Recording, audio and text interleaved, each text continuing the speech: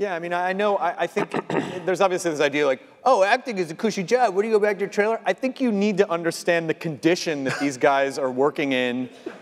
Like in the dead heat of Atlanta summer, outside, swinging blades, covered in blood, covered in dirt, getting knocked around. Like it's, you guys, it's, it's kind of like a boot camp that you guys have to go through in a Yeah. way. Has it, uh, is there any part of you that kind of feels like, like Andy, I'll ask you, is there any part of you that feels like, yeah, you know, once, you know, years down the road when Walking Dead is over, do you, like you want to do this kind of show again? Or do you feel like No. you want, No, there's, there- there's only one. I'm, I'm waiting for the kid to take over. no, it is. It's amazing, and it, it- and the, the, I, I never thought I'd start going grey, and then I'd become an action sort of. I'd have an action figure. You know, it's kind of.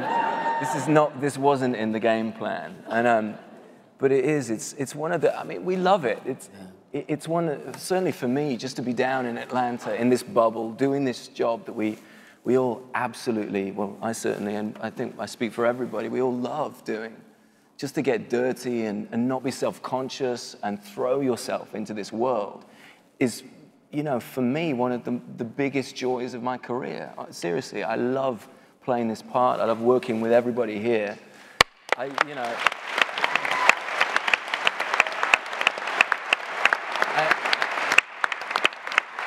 you know, and, and, you know, we miss everybody. The, the- you know, uh, from the get, you know, Jon Bernthal, Jeff DeMunn, you know, the list goes on. Everybody that has passed, you know, and everybody to come in this show is just as much a part of the family as everybody sat here, you know, and.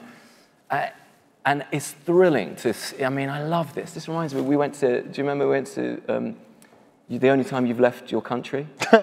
Don't tell people that. Yeah, yeah, yeah. Robert and I went to Madrid, and it's very similar. I'm having a sort of out of body experience, very similar to this. And we, it's just so nice having a, a dialogue with you guys as well, because, you know, Well, you know what's you know what's cool about it for us too is that the show is still airing. Like Sunday night, you guys are going to get to experience another part of our story. Usually, when we start shooting in May, we go off to Comic Con and we get to sit.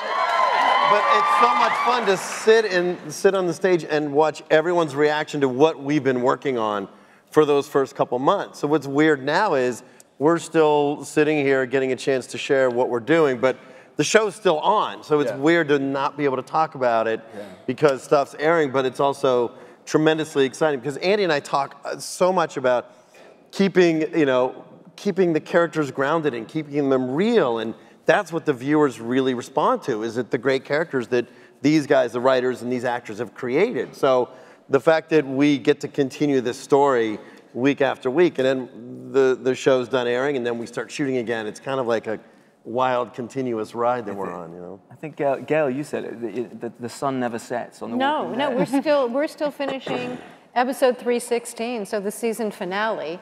The writers are back in the writers' room, and we start shooting in two months. Oh, wow. And, and it's, I I think it is kind of cool that you guys are out there in the middle of Georgia, just isolated and not like, oh, we're shooting in Los Angeles, we go back to our cushy homes. Like, you guys are, you know, you're, you're, you're living. I, I, I I went down to the set twice and I stepped outside. I'm like, it's too hot. And I went back inside. Like, That's true. A- After the tick check, right? yeah, You after gotta the do tick, they have to tick check for tick. They have to check themselves for ticks. Yep. Ticks are no big deal. It's, they are a big deal, Robert Kirkman.